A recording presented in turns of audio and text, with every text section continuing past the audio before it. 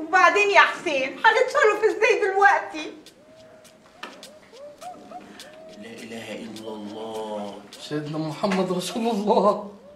إيه يا انجي ده؟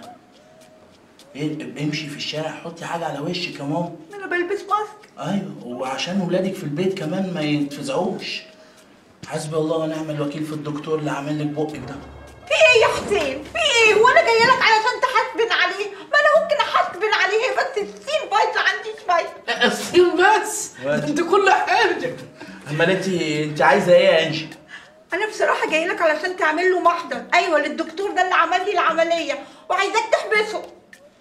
هو من جهه احبسه أنا احبسه أنا أسمع عن دكتور ينسى فوطة في بطن المريض. ينسى مشرط في بطن المريض. بتحصل. إنما ينسى بق في بق المريض. دي جديدة دي الصراحة أول مرة أشوفها. إيه البق ده كله؟